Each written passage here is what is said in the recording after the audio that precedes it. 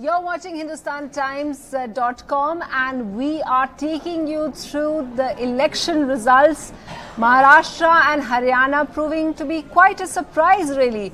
Uh, it was said that there was not going to be any fight, but what's turned up is a hung verdict in Haryana with the BJP and the Congress fighting with very few seats difference. The BJP, uh, according to the latest figure, shows 38 and the Congress 34.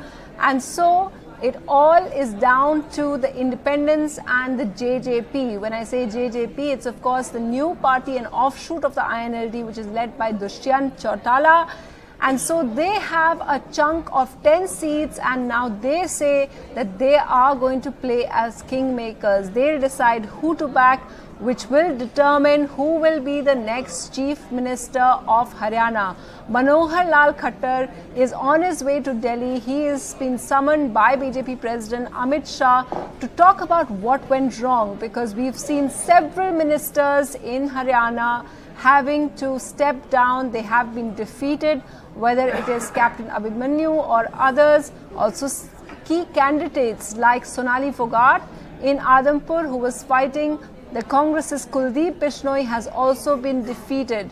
So while it is not a win for the Congress, what is significant is the fact that the Congress seemed to be completely lost, that they only had its leadership in place just weeks before the election. But Bhupender Singh Hooda has turned things around by at least providing a fight for the BJP.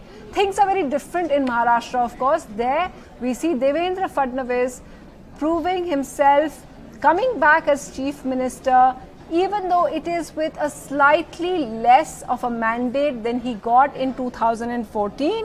He's got 160, uh, he's leading in 160 seats, which is much less than the 185 combined of the Shiv Sena and the BJP in 2014.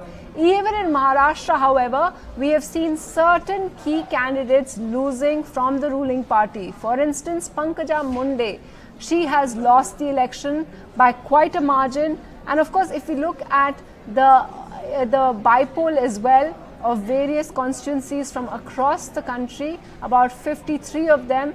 In that as well, we've seen some key figures losing out, like Alpesh Thakur, who is who used to be in the Congress, went over to the BJP. He's lost the election as well. So, what are the major takeaways? What is it that we should look out for? And of course, the thing to watch out for is who will form the government in Haryana.